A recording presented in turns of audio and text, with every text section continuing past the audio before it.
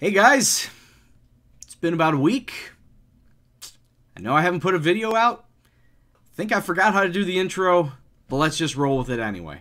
What's going on guys? It's Gendo here. Hope you're having a good day and welcome back to another episode of The World's First. If you're still enjoying the series, of course, go ahead and hit that like button. Now today, I did say in the last episode we'd be taking on both Swindon and Birmingham City, but a little thing that got in the way I'd like to call the FA Cup. We made it into the third round and we have drawn against Aston Villa. So that split the two in half, meaning that we are in fact going to be playing Aston Villa today along with Birmingham City. But of course, before we get to that, we must go over how we've been faring in the league thus far ups and downs and whatnot. Let's take a look see how we did. When last we met, of course, it was the loss, the drubbing at the hands of Yeovil, but since that time, we've gone on a fairly decent run. Three wins, a draw, and two losses. You know, 10 points out of six matches. That's not all that bad. But on top of that, we also got ourselves into the third round proper by beating Southend. It took a replay to do it, but we eventually did it in the end. Nil-nil at home versus Southend.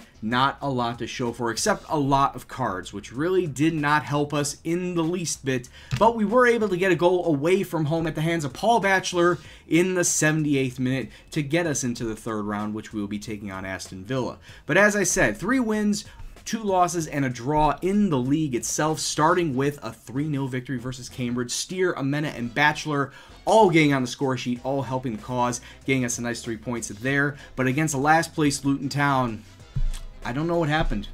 I honestly don't know what happened. Two penalties, two fouls in the box, allowing Luton Town to come away with the victory here. It's not ideal, and definitely against the last place team should not have happened. But in the league, we were able to get two wins on the bounce. First against Preston North End, getting a 3-1 victory here. Gamblin, Steer, and Foster the goal scorers there. And then against Wigan, Steer and Beadling, the not often used center back, gets himself on the score sheet and gives us a nice 2-0 victory versus the Latics. But we then came against Fleetwood, and boy howdy did they stomp us. They aren't even all that good. They're sitting mid-table. So it's I guess it's not all that expected. It wasn't expected to come away with a loss that bad. I was expecting to lose, to be honest, but not that bad. Stuart Rennie getting the only goal there. And then against Swindon, we were able to scrap together a two-all draw. Rennie and Gallagher, the goal scorers on our side. Unfortunately, Jeremy Arthur potted it into his own net to give Swindon's first goal. And then in the dying minutes, Swindon equalizing. So with those 10 points in 6 matches, we did start pushing ourselves away from the relegation zone. We are now 13 points clear of the drop with 31 points through 23 matches. We're sitting in 17th place. It is ideal in the current situation that we're in because, well, anytime we're not in the relegation zone in this season, it's completely ideal. So I'll definitely take that and then build upon that. Today, though, we're taking on a Birmingham City side that is sitting in 10th place, so they're right on the cusp of teams that we should be able to beat versus teams that we shouldn't be. So I figure that today we may come away with a draw there. But of course, we first got to take on Aston Villa, who are sitting in the championship and more than likely will give us a hard time. It also doesn't help that we are missing four of our starters due to injury. Anthony Steer, Paul Batchelor, of course, our two main strikers, out with injuries. They will be gone for the next week, so they won't be featuring in any of these two matches. Noah Baba is out for two weeks due to a dislocated shoulder, and Jean Amena is out with broken ribs two to three more weeks before he comes back. So, had to call in some of the reserves, and we had to play a different formation, and it kind of looks something like this. I kind of like it. Boom!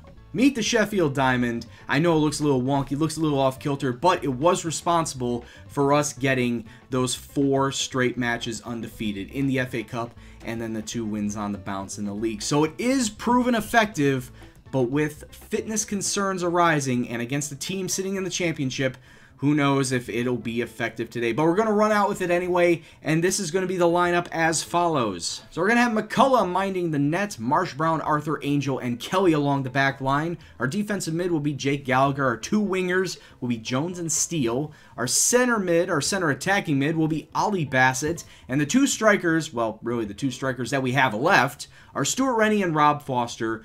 But it's in the FA Cup, so in the grand scheme of things, it doesn't matter for this season. If we win, of course, that means extra money. But if we lose, it's not like it hurts our placement in the league. So we're just going to go out there, give it our best, and whatever happens, happens. So let's kick off and see what happens. Ball coming inside. Cauley Woodrow taking the shot. What a save from McCullough, just tipping it wide around the post. Aston Villa showing their dominance early on. Sinkgraven with the corner coming in. Wagon, Wagnon gets the goal for Aston Villa. It's 1 0 to the Villains. And to be quite honest with you, it was just a matter of time. They've had 66% possession of the ball. They've had all the shots. We haven't had any. I mean, we can go through the long list of factors of why we're not going to win this match, and we'd be here all day. That was a perfectly executed corner.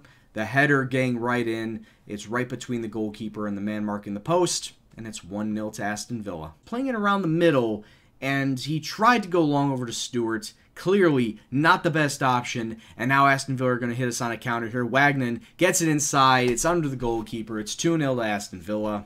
It's going to be a long day. It is going to be a very long day. What's that? He's Swiss.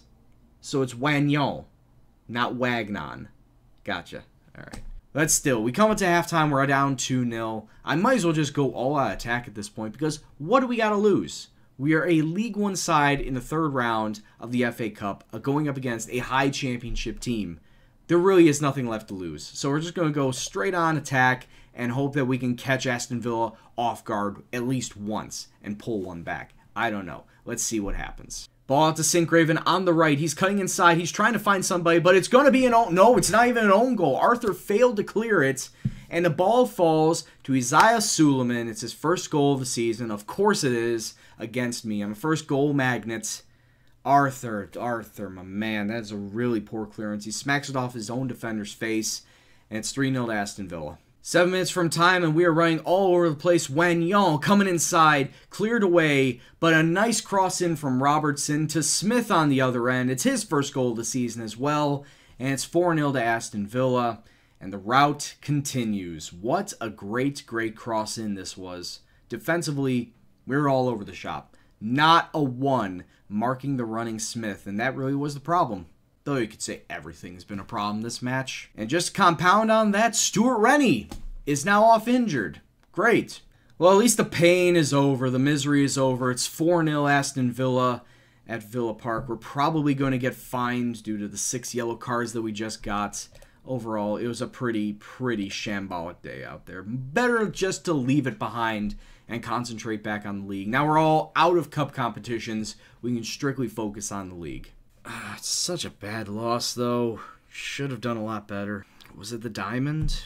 Should have gone 4 4 2? Though I will say one thing, though.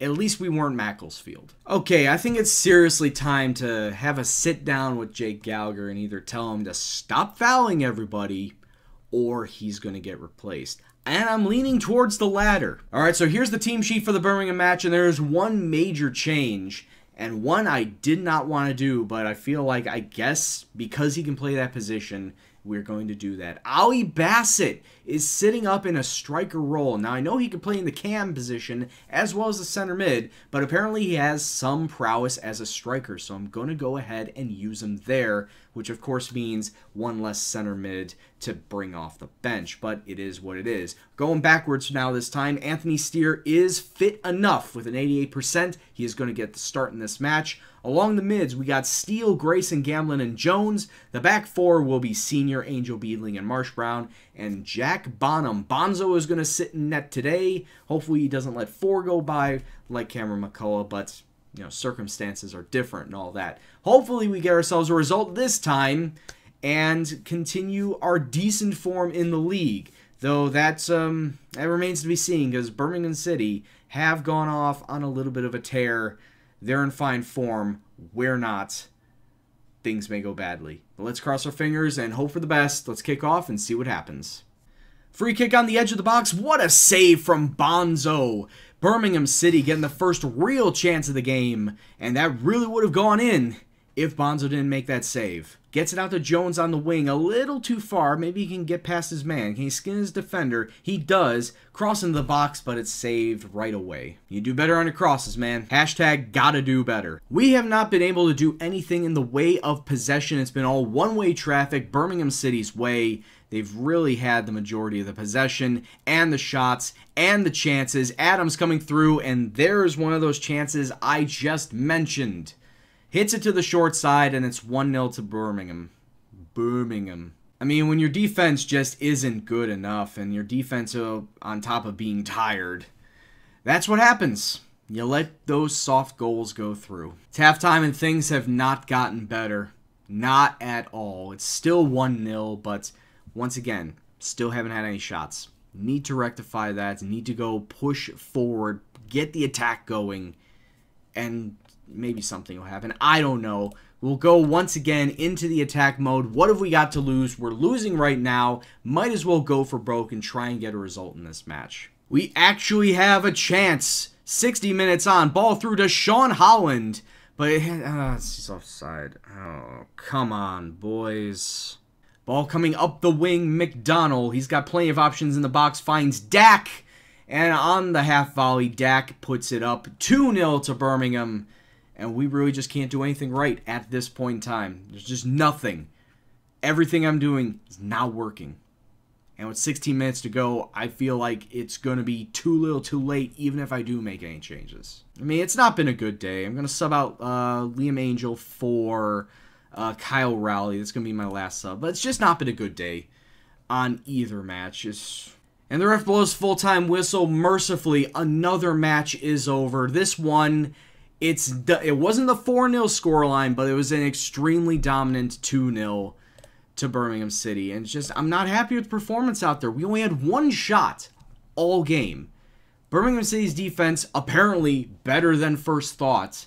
So we stay in 17th place. Birmingham, look at those stats 19 and 12. We only had one shot almost 40% possession. Look at the foul count. Jesus, they only had one foul all game. We were hacking them down. 29 fouls. All right, let's put that memory behind us. Let's take a look and see the schedule is like so we can find out when we'll come back next episode. So here's what the schedule looks like for the remainder of the season. Quite a bit of matches in there. I think we'll be coming back right after the end of the transfer window, just on the off chance if we signed anybody or if we sold anybody away. I feel like the next matches we'll be coming back to are Millwall and Oxford. We played Oxford once before on a live com and we did come away with a win. Hopefully we can replicate that performance here. So with that said, I'd like to thank you all very much for watching. Of course, if you liked what you saw, go and smash that like button. Lets me know that you are still interested in the series. And of course, subscribe if you're new. Any comments, suggestions, questions, anything else at all, please leave in the comment box below. But as always, this is Gendo, and I'll see you in the next video. Take care, and peace out.